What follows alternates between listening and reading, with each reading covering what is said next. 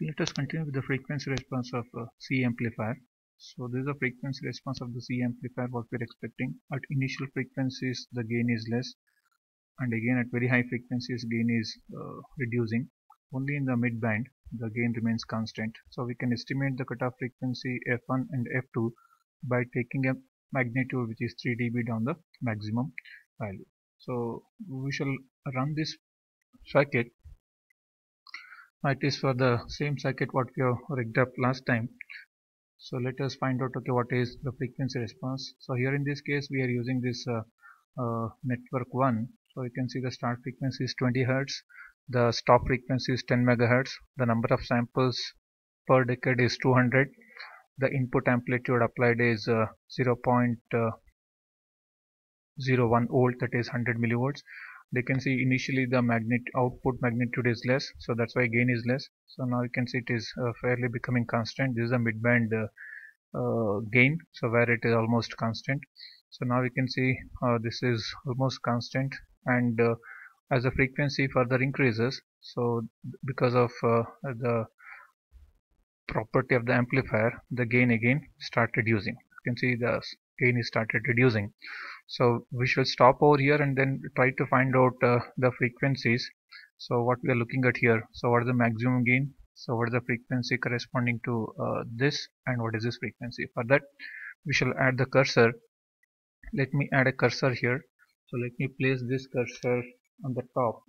So on the maximum gain side. Now the maximum gain of uh, this amplifier in this particular case is 26 point 25.63 dBs. So let me have uh, two more cursors which are delta in nature. So there is one cursor. Let me place this second cursor such that uh, its gain difference is 3 dB from the maximum. So just, just have a look at uh, this delta y. This this delta y should become uh, 3 dBs. So I'm just moving. You can see now the delta y is 0.8 now it is 1.4 now we just move such that that becomes 3 so just have a look on this. So that should become minus 3 dB. So that uh, we are 3 dB down the maximum which corresponds to the corresponding frequency is 1.36 megahertz. So which is the f2 which is mentioned in this graph. So let us also measure uh, this f1 on this graph by having one more delta cursor. So let me move this cursor 3 delta such that uh, this becomes uh, minus 3 dB. So on, on the other side of I can see it is uh, there's a variation there. So let me approximately find out where the gain is minus 3 dB. Somewhere somewhere here it is now minus because the variation is there. So now you're getting somewhere here it is minus 3 dB. So let me just uh, find out so here it is minus approximately minus 3 dB the corresponding frequency is around uh, 486 hertz which is 500 hertz. So f1 happens to be a very small frequency which is 500 hertz in this case. The f2 happens to be 1.36 megahertz.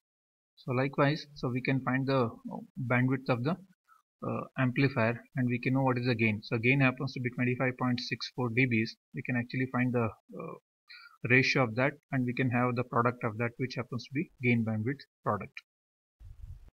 Now I have modified the uh, value of RE such that the gain is slightly increased. So I have, I have changed the uh, pot position. Now the gain has become 26, sorry 28.52 dBs from the earlier 25.64 dBs.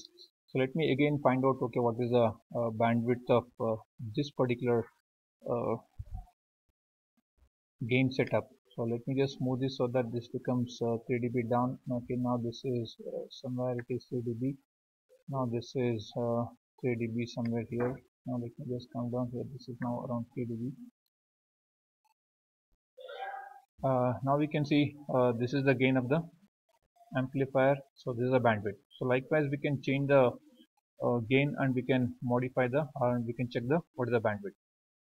So let me just redo the experiment. So by uh, varying the value of uh, RE such that this gain reduces I have uh, modified the position. Let me again run this. So let us see what is the gain now. So earlier we had 25.64 dB. Next we had uh, the gain as uh, 28.4 dBs now I have again modified the uh, RE such that let us verify what is the gain. Now let us see now the gain has to reduce because I just rotated the pot in a other direction. Now the gain has to reduce. So let me find out what is the gain of the system. So now the gain happens to be so let it uh, simulate. Now it is somewhere around uh, so just have a look at uh, this cursor. This is the it's around 23 dBs.